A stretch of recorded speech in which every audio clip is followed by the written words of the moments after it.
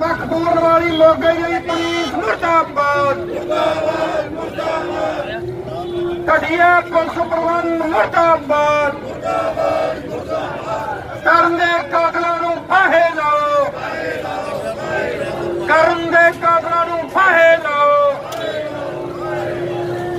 ਦੋਸ਼ੀਆਂ ਦੀ ਤੁਰੰਤ ਗ੍ਰਿਫਤਾਰੀ ਲਈ ਔਰ ਐਸਸੀ ਐਸਟੀ ਦਾ ਪਰਚਾ ਦਰਜ ਕਰਨ। 302 ਦੇ ਨਾਲ ਐਸਸੀ ਐਸਟੀ ਪਰਚਾ ਦਰਜ ਕਰਨ। 25 ਦੋਸ਼ੀਆਂ ਦੀ ਤੁਰੰਤ ਗ੍ਰਿਫਤਾਰੀ ਲਈ ਔਰ ਐਸਸੀ ਐਸਟੀ ਦਾ ਪਰਚਾ ਦਰਜ ਕਰਨ। 302 ਦੇ ਨਾਲ ਐਸਸੀ ਐਸਟੀ ਪਰਚਾ ਦਰਜ ਕਰਨ। 25 ਜਿਹੜੇ ਖੜੇ ਆ, ਉਹ ਮੇਰੇ ਆ ਜਾਣ, ਵਿੱਚ ਬੈਠ ਜਾਣ। ਕਿਉਂਕਿ ਆਪਾਂ ਨੂੰ ਸਾਰਿਆਂ ਨੂੰ ਪਤਾ ਹੈ ਕਿ ਜਿਹੜੇ ਇੱਕ ਗਲਤ ਨੌਜਵਾਨ ਦੇ ਨਾਲ ਇਹ ਘਟਨਾ ਵਾਪਰੀ ਹੈ ਔਰ ਇਹੀ ਘਟਨਾ ਜੇ ਪਿੰਡ ਦੇ ਕਿਸੇ ਚੌਧਰੀਆ ਵਾਪਰੀ ਹੁੰਦੀ ਤਾਂ ਇੱਥੋਂ ਦੀ ਪੁਲਿਸ, ਇੱਥੋਂ ਦੀ ਐਮਐਲਏ ਆ ਜਿਹੜਾ ਉਹ ਲਾਲਾ ਚੜਦਾ ਫਿਰਨਾ ਸੀਗਾ। ਇਹ ਪੁਲਿਸ ਲਾਲਾ ਕਿਉਂ ਸਮਝਾ ਰਹੀ ਹੈਗੀ ਕਿਉਂਕਿ ਇਹ ਗਰੀਬ ਦਾ ਲੜਕਾ ਹੈ। ਤਾਂ ਜਿਹੜੇ ਖੜੇ ਆ, ਉਹ ਮੇਰੇ ਆ ਜਾਣ, ਵਿੱਚ ਬੈਠ ਜਾਣ। ਕਿਉਂਕਿ ਆਪਾਂ ਨੂੰ ਸਾਰਿਆਂ ਨੂੰ ਪਤਾ ਹੈ ਕਿ ਜਿਹੜੇ ਇੱਕ ਗਲਤ ਨੌਜਵਾਨ ਦੇ ਨਾਲ ਇਹ ਘਟਨਾ ਵਾਪਰੀ ਹੈ ਔਰ ਇਹੀ ਘਟਨਾ ਜੇ ਪਿੰਡ ਦੇ ਕਿਸੇ ਚੌਧਰੀਆ ਵਾਪਰੀ ਹੁੰਦੀ, ਤਾਂ ਇੱਥੋਂ ਦੀ ਪੁਲਿਸ, ਇੱਥੋਂ ਦੀ ਐਮਐਲਏ ਆ ਜਿਹੜਾ ਉਹ ਲਾਲਾ ਚੜਦਾ ਫਿਰਨਾ ਸੀਗਾ। ਇਹ ਪੁਲਿਸ ਲਾਲਾ ਕਿਉਂ ਸਮਝਾ ਹੈਗੀ?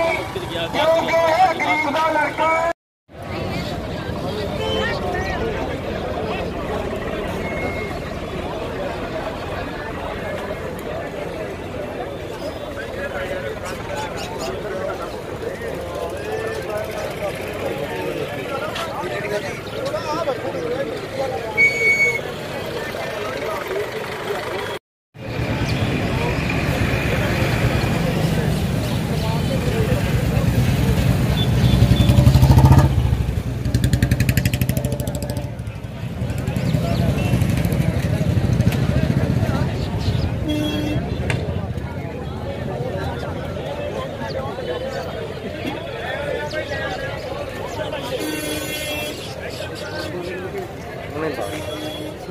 ਹੈ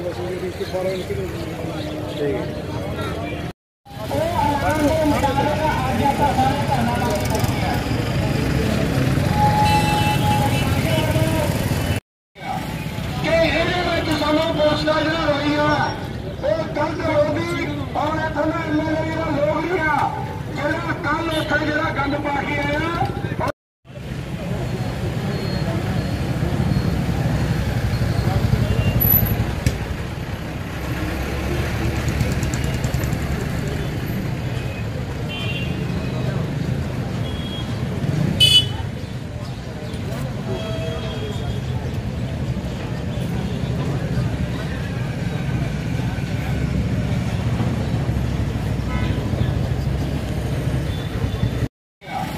ਕਿ ਇਹਦੇ ਵਿੱਚ ਸਾਨੂੰ ਪੋਸਟਾਂ ਜਿਹੜਾ ਹੋਈਆਂ ਉਹ ਗਲਤ ਹੋਗੀ ਔਰ ਇੱਥੋਂ ਦਾ ਐਮਐਲਏ ਦਾ ਲੋਕ ਨਹੀਂ ਆ ਜਿਹੜਾ ਕੱਲ ਉੱਥੇ ਜਿਹੜਾ ਗੰਦ ਪਾ ਕੇ ਆਇਆ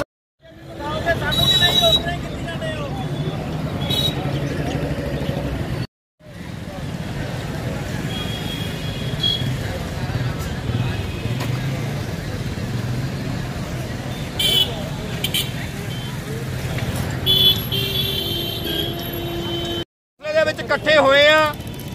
ਕਰਨ ਸਿੰਘ ਨਾਮੀ ਜਿਹੜਾ ਆਪਣੇ ਕੋਟ ਈਸੇ ਖਾਂ ਦਾ ਲੜਕਾ ਪਿੰਡ ਮਸਤਿਆਂ ਨੇ ਡੀਜੇ ਦੇ ਜਿਹੜਾ ਕੰਮ ਤੇ ਗਿਆ ਸੀ। ਤੇ ਜਿਹੜੇ ਪਿੰਡ ਦੇ ਵਿੱਚ ਮਸਤਿਆਂ ਦੇ ਵਿੱਚ ਵਿਆਹ ਸੀ ਉਸ ਪਿੰਡ ਦੇ ਜਿਹੜਾ 2 ਮਿੰਟ ਕਰ ਲਾ ਯਾਰ ਲੜਕਾ ਸੀਗਾ ਜਿਹੜਾ ਸਾਦੀ ਸਮਾਗਮ ਦੇ ਵਿੱਚ ਜਿਹੜਾ ਉਹਨੇ ਗੋਲੀ ਚਲਾਈ ਜਿਹਦੇ ਵਿੱਚ ਕਰਨ ਦੀ ਜਾਨ ਗਈ ਆ।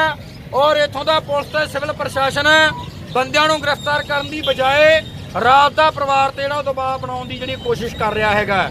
ਦੂਜੇ ਪਾਸੇ, ਜੇਕਰ ਅਸੀਂ ਦੇਖੀਏ ਕਿ ਪੰਜਾਬ ਦੇ ਵਿੱਚ ਜਿਹੜਾ ਦਲਤਾਂ ਦੇ ਨਾਲ ਹੋ ਰਿਹਾ, ਔਰਤਾਂ ਦੇ ਨਾਲ ਹੋ ਰਿਹਾ, ਔਰ ਲਗਾਤਾਰ ਉਸ ਤਬਕਿਆਂ ਦੇ ਨਾਲ ਹੋ ਰਿਹਾ ਹੈਗਾ, ਜਿਹੜੇ ਸੰਘਰਸ਼ ਕਰਦੇ ਹੈਗੇ ਆ, ਜਿਹਦੇ ਵਿੱਚ ਤੁਸੀਂ ਦਲਤਾਂ ਦੀ ਗੱਲ ਜਿਵੇਂ ਮੈਂ ਗੱਲ ਕੀਤੀ ਹੈਗੀ ਆ, ਤੇ ਜੰਗਾਲੀ ਕਲਾਂ ਦੇ ਵਿੱਚ ਜਿਹੜਾ ਕਾਂਡ ਹੋਇਆ ਹੈਗਾ, ਉਹਦੇ ਤੋਂ ਵੀ ਕੋਈ ਜਾਣੂ, ਇਹ ਨਹੀਂ ਹੈਗਾ, ਕੋਈ ਜਾਣੂ ਨਹੀਂ ਹੈਗਾ।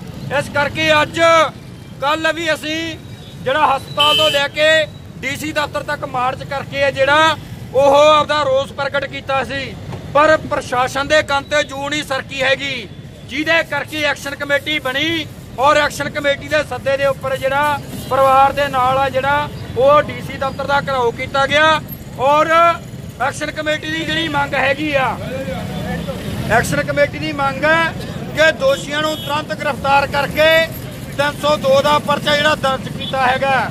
ਉਹਦੇ ਵਿੱਚ ਐਸਸੀ, ਐਸਟੀ ਦਾ ਜਿਹੜੀ ਧਾਰਾ ਉਹ ਜੋੜੀ ਜਾਵੇ। ਔਰ ਉਸ ਤੋਂ ਬਾਅਦ ਪਰਿਵਾਰ ਨੂੰ ਸਰਕਾਰੀ, ਇੱਕ ਪਰਿਵਾਰ ਦੇ ਮੈਂਬਰ ਨੂੰ ਸਰਕਾਰੀ ਨੌਕਰੀ ਦਿੱਤੀ ਜਾਵੇ। ਔਰ 25 ਲੱਖ ਰੁਪਈਆ ਜਿਹੜਾ ਉਹ ਮੁਆਵਜ਼ਾ ਦਿੱਤਾ ਜਾਵੇ। ਇਹਨਾਂ ਮੰਗਾਂ ਨੂੰ ਲੈ ਕੇ ਅਸੀਂ ਕੱਲ ਤੋਂ ਸੰਘਰਸ਼ ਦੇ ਵਿੱਚ, ਮੈਦਾਨ ਦੇ ਵਿੱਚ ਹੈਗੇ ਆ ਆ ਜਾਣਕਾਰੀ ਦਿਓ ਜੀ ਸਰ ਧਰਨਾ ਕਿਸ ਵਾਸਤੇ ਆਪਾਂ ਲਾਇਆ ਜੀ ਇਹ ਕਰਨ ਦਾ ਕਤਲ ਜਿਹੜਾ ਦੋ ਦਿਨ ਪਹਿਲਾਂ ਹੋਇਆ, ਮਸਤੇ ਵਾਲੇ ਡੀਜੇ ਦਾ ਕੰਮ ਕਰਦਾ ਸੀਗਾ ਉਹ। ਉੱਥੇ ਸੁਖਦੀਪ ਨਾਂ ਦੇ ਬੰਦੇ ਨੇ ਗੋਲੀ ਮਾਰ ਕੇ ਉਹਦੀ ਹੱਤਿਆ ਕੀਤੀ ਹੈ ਤੇ ਦੋਸ਼ੀ ਹਜੇ ਤੱਕ ਫੜੇ ਨਹੀਂ ਗਏ। ਤਿੰਨ ਮੰਗਾਂ ਪਰਿਵਾਰ ਦੀਆਂ ਕਿ ਐਸਸੀ ਐਸਟੀ ਐਕਟ ਦਾ ਵਾਅਦਾ ਹੋਵੇ ਪਰਚੇ ਦੇ ਵਿੱਚ 25 ਲੱਖ ਰੁਪਇਆ ਮੁਆਵਜ਼ਾ ਤੇ ਪਰਿਵਾਰ ਦੇ ਇੱਕ ਮੈਂਬਰ ਨੂੰ ਸਰਕਾਰੀ ਨੌਕਰੀ ਮਿਲੇ। ਕੱਲ ਅਸੀਂ ਡੀਸੀ ਦਫ਼ਤਰ ਮੋਗਾ ਧਰਨਾ ਲਾਇਆ। ਉੱਥੇ ਤਹਿਸੀਲਦਾਰ ਤੇ ਐਸਪੀਐਚ ਸਾਹਿਬ ਸਾਡਾ ਮੰਗ ਪੱਤਰ ਲੈ ਕੇ ਗਏ ਆ। ਹਜੇ ਤੱਕ ਉਹ ਮੰਗਾਂ ਸਾਡੀਆਂ ਨਹੀਂ ਮੰਨੀਆਂ ਗਈਆਂ। ਉਹ ਇਹ ਚਾਰੇ ਮੰਗਾਂ ਮਨਾਉਣ ਵਾਸਤੇ ਕਰਨ ਕਤਲकांड ਵਿਰੋਧੀ ਐਕਸ਼ਨ ਕਮੇਟੀ ਦੀ ਅਗਵਾਈ ਦੇ ਵਿੱਚ ਅੱਜ ਅਸੀਂ ਕੋਰਟ ਇਸੇ ਖਾਓਗੇ ਧਰਨਾ ਲਾ ਕੇ ਬੈਠੇ ਇਸ ਸੰਬੰਧੀ ਆ ਤੁਸੀਂ ਪੁਲਿਸ ਨਾਲ ਗੱਲ ਕੀਤੀ ਉਹਨਾਂ ਨੇ ਕੀ ਕਿਹਾ ਵੀ ਕਿਸੇ ਨੂੰ ਫੜਿਆ ਕਿ ਨਹੀਂ ਫੜਿਆ?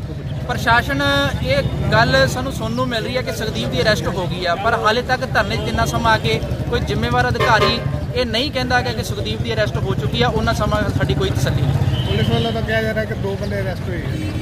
ਜਿੰਨਾ ਸਮਾਂ ਕੋਈ ਅਧਿਕਾਰੀ ਆ ਕੇ ਧਰਨੇ 'ਚ ਨਹੀਂ ਕਹਿੰਦਾ ਮਾਈਕ ਤੇ ਬੋਲ ਕੇ ਕਵੇ ਕਿ ਆਹ ਦੋ ਬੰਦੇ ਫੜੇ ਗਏ ਉਸ ਤੋਂ ਬਾਅਦ ਸਾਡੀ ਤਸੱਲੀ। ਜੇ ਮੰਨ ਲਓ ਪੁਲਿਸ ਕੋਈ ਕਾਰਵਾਈ ਨਹੀਂ ਕਰਦੀ ਫਿਰ ਤੁਸੀਂ ਕੀ ਕਰੋਗੇ ਅੱਜ? ਅੱਜ ਇਹ ਧਰਨਾ ਚੱਲੂਗਾ ਜੀ। ਜੇ ਨਹੀਂ ਫਿਰ ਵੀ ਕਾਰਵਾਈ ਹੁੰਦੀ ਤਾਂ ਐਕਸ਼ਨ ਕਮੇਟੀ ਗਾਂ ਮੀਟਿੰਗ ਕਰਕੇ ਅਗਲਾ ਜਿਹੜਾ ਐਲਾਨ ਕਰੂ ਸ਼ਾਂਤਮਈ ਢੰਗ ਨਾਲ ਚੱਲੂਗਾ ਕਿ ਕੁਝ ਹੋਰ ਬਿਲਕੁਲ ਸ਼ਾਂਤਮਈ ਢੰਗ ਨਾਲ। ਲੋਕ ਹਮੇਸ਼ਾ ਸ਼ਾਂਤਮਈ ਮਈ ਢੰਗ ਨਾਲ ਹੀ ਲੜਦੇ ਆ। ਸ਼ਾਂਤਮਈ ਢੰਗ ਨਾਲ ਹੀ ਆਪਦੀਆਂ ਮੰਗਾਂ ਮਨਵਾਉਂਦੇ ਆ। ਅੱਜ ਵੀ ਸ਼ਾਂਤਮਈ ਢੰਗ ਨਾਲ ਅਸੀਂ ਬੈਠੇ ਆ ਆਪਦੀਆਂ ਮੰਗਾਂ ਉਠਾ ਰਹੇ ਹਾਂ ਮੁੱਖ ਮੰਗਾਂ ਕੀ ਨੇ ਅਜੇ ਤੱਕ ਪਹਿਲੀ ਮੰਗ ਕਰਨ ਦੇ ਸਾਰੇ ਕਾਤਲਾਂ ਨੂੰ ਗ੍ਰਿਫਤਾਰ ਕੀਤਾ ਜਾਵੇ। ਫਾਸਟ ਟਰੈਕ ਅਦਾਲਤ ਦੇ ਰਾਹੀਂ ਕੇਸ ਚਲਾ ਕੇ 3 ਮਹੀਨੇ ਦੇ ਅੰਦਰ ਅੰਦਰ ਸਾਰਿਆਂ ਨੂੰ ਸਜ਼ਾ ਹੋਣੀ ਚਾਹੀਦੀ ਹੈ। ਦੂਜੀ ਮੰਗ, ਪਰਚੇ ਵਿੱਚ ਐਸਸੀ, ਐਸਟੀ ਐਕਟ ਦੀ ਧਾਰਾ ਦਾ ਵਾਧਾ ਕੀਤਾ ਜਾਣਾ ਚਾਹੀਦਾ। 25 ਲੱਖ ਰੁਪਇਆ ਮੁਆਵਜ਼ਾ ਪਰਿਵਾਰ ਨੂੰ ਤੇ ਪਰਿਵਾਰ ਦੇ ਇੱਕ ਮੈਂਬਰ ਨੂੰ ਸਰਕਾਰੀ ਨੌਕਰੀ ਮਿਲਣੀ ਚਾਹੀਦੀ ਆ ਉਹਨਾਂ ਸਮਾਂ ਇਹ ਲਾਸ਼ ਦਾ ਪੋਸਟਮਾਰਟਮ ਜਿਹੜਾ ਨਹੀਂ ਪੀੜਤ ਪਰਿਵਾਰ ਨੂੰ ਕਿਹੜੇ ਕਿਹੜੇ ਹੋਰ ਸੰਸਥਾਵਾਂ ਦਾ ਸਮਰਥਨ ਹੈਗਾ ਤੁਹਾਡੇ ਤੋਂ ਪੀੜਤ ਪਰਿਵਾਰ ਦੀ ਸਪੋਰਟ ਦੇ ਵਿੱਚ ਮੋਗੇ ਇਲਾਕੇ ਦੀਆਂ ਸਾਰੀਆਂ ਜਨਤਕ ਤੇ ਇਨਕਲਾਬੀ ਜਥੇਬੰਦੀਆਂ ਇਕੱਠੀਆਂ ਹੋਈਆਂ ਤੇ ਉਹਨਾਂ ਨੇ ਇਕੱਠੀਆਂ ਹੋ ਕੇ ਕਰਨ ਕਤਲकांड ਵਿਰੋਧੀ ਐਕਸ਼ਨ ਕਮੇਟੀ ਬਣਾਈ ਹੈ। ਦਰਜਨ ਦੇ ਕਰੀਬ ਇਹਦੇ ਵਿੱਚ ਜਥੇਬੰਦੀਆਂ ਸ਼ਾਮਲ ਪੁਲਿਸ ਦਾ ਕਹਿਣਾ ਹੈ ਕਿ ਸਾਨੂੰ ਸਰਟੀਫਿਕੇਟ ਮਿਲਣ ਤੋਂ ਬਾਅਦ ਐਸਸੀ ਐਸਟੀ ਲਾਗੂ ਕਰ ਦਿੱਤਾ ਗਿਆ ਕੱਲ ਐਸਪੀਐਚ ਸਾਹਿਬ ਨੇ ਸਾਨੂੰ ਇਹ ਦੱਸਿਆ ਪੁੱਛਿਆ ਕਿ ਰਾਜਪੂਤ ਆ ਬਾਕੀ ਐਸਸੀ ਕੈਟਾਗਰੀ ਚੋਂ ਆ। ਅਸੀਂ ਉਹਨਾਂ ਦੀ ਤਸੱਲੀ ਆ ਤੇ ਸਰਟੀਫਿਕੇਟ ਵੀ ਜਿਹੜੇ ਆ ਉਹ ਐਸਸੀ ਦੇ ਉਹ ਦੇ ਦਿੱਤੇ। ਹਾਂ ਸਰਟੀਫਿਕੇਟ ਦੇਣ ਤੋਂ ਬਾਅਦ ਉਹ ਕਹਿੰਦੇ ਲਾਗੂ ਹੋ ਗਿਆ ਹੈ। ਕੋਈ ਪ੍ਰਸ਼ਾਸਨ ਅਧਿਕਾਰੀ ਹਾਲੇ ਤੱਕ ਧਰਨੇ ਜਾ ਕੇ ਨਹੀਂ ਪਹੁੰਚਿਆ ਨਹੀਂ ਸਾਨੂੰ ਇਹਦੇ ਬਾਰੇ ਕੁਝ ਨਹੀਂ ਪਤਾਗਾ। ਜਿੰਨਾ ਸਮਾਂ ਕੋਈ ਲੋਕਾਂ ਦੀ ਕਚਹਿਰੀ ਜਾ ਕੇ ਪ੍ਰਸ਼ਾਸਨਿਕ ਅਧਿਕਾਰੀ ਨਹੀਂ ਕਹਿੰਦਾਗਾ ਉਹਨਾਂ ਸਮਾਂ ਸਾਡੀ ਕੋਈ ਤਸੱਲੀ ਨਹੀਂ। ਕੀ ਨਾਮ ਹੈ ਜੀ?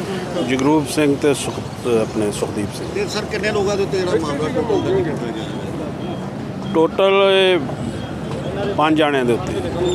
ਜਿਹੜੇ ਦੋ ਅਰੈਸਟ ਕੀਤੇ ਗਏ ਆ ਉੱਥੇ ਉਹ ਮੌਕੇ ਤੇ ਮੌਜੂਦ ਸੀ ਜਿਹਨਾਂ ਨਾਂ ਪਰਚਿਆਂ ਦੇ ਉਹੀ ਬੰਦੇ ਆ ਕਿ ਹੋਰ ਰਾਉਂਡ ਹਾਂ ਜਿਹੜੇ ਐਫ ਆਈ ਆਰ ਦੇ ਵਿੱਚ ਨਾਮਜ਼ਦ ਦੋਸ਼ੀ। ਕਿੰਨੇ ਬੰਦੇ ਐਫਆਈ ਦਰਜ ਪੰਜ ਬੰਦਿਆਂ ਦੇ ਸਰ ਜਿਵੇਂ ਹੁਣ ਅੱਜ ਵੀਰੇ ਦੁਆਰਾ ਧਰਨਾ ਲਗਾ ਰਹੇ ਨੇ ਜਦ ਕਿ ਓਪੀਆਂ ਨੂੰ ਕੀ ਮੰਗ ਕੀਤੀ ਹੈ ਕੀ ਮੰਗ ਕਰਦੇ ਨੇ? ਇਹ ਮੰਗ ਹੁਣ ਤੇ ਨੌਕਰੀ ਦੇ ਬਾਰੇ ਤੇ ਇੱਕ ਜਿਹੜਾ ਕੋਈ ਸਰਕਾਰ ਕੋਲੋਂ ਮੁਆਵਜ਼ੇ ਦੀ ਮੰਗ ਕਰ ਰਹੇ। ਬਾਕੀ ਬਿਹਤਰ ਤਾਂ ਇਹੀ ਦੱਸ ਸਕਦੇ ਆ। ਹੁਣ ਇਹੀ ਦੱਸ ਸਕਦੇ ਸਾਨੂੰ ਤਾਂ ਕੋਈ ਪਤਾ ਨਹੀਂ ਜਿਹੜੀ ਹਥਿਆਰ ਉੱਥੇ ਵਰਤੇ ਗਏ 27 ਸੀ ਹਾਂ 12 ਬੋਰ ਦੀ ਜਿਹੜੀ ਬੰਦੂਕ ਹੈ ਉਹ ਵੀ ਰਿਕਵਰ ਹੋ ਚੁੱਕੀ ਹੈ। ਲਾਇਸੈਂਸ ਸੀ?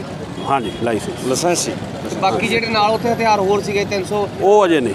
ਉਹ ਉਹ ਉਹ ਨਾਲ ਜੇ ਵਰਕ ਕਰ ਰਹੇ। ਉਹਦੀ ਉਹਦੀ ਤਫਤੀਸ਼ ਚੱਲ ਰਹੀ ਹੈ ਜੀ। ਹਾਈਵੇ ਤੇ ਧਰਨਾ ਲਗਾਉਣਾ ਕੀ ਹੈ ਜੀ? ਇਹ ਹਾਈਵੇ ਤੇ ਧਰਨਾ ਇਹ ਤਾਂ ਕੋਈ ਇਹਦੇ ਆਹ ਤੇ ਜਾਇਆ ਜੀ ਅਜੇ ਇਹਦੇ ਚ ਕੀ ਹੈ? ਇਹ ਤਾਂ ਕੋਈ ਟ੍ਰੈਫਿਕ ਤਾਂ ਨਹੀਂ ਜਾਮ ਕਰ ਰਹੇ। ਇਹ ਤਾਂ ਸਾਈਡ ਤੇ ਆਪਦਾ ਸਾਈਡ ਤੇ ਕਰ ਰਹੇ ਨਾ ਰੋਸ ਪ੍ਰਦਰਸ਼ਨ ਕਰ ਰਹੇ ਕੋਈ।